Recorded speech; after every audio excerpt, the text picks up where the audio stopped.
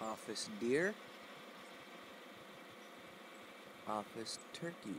Right there next to the tree. Let me see if I can get a closer shot.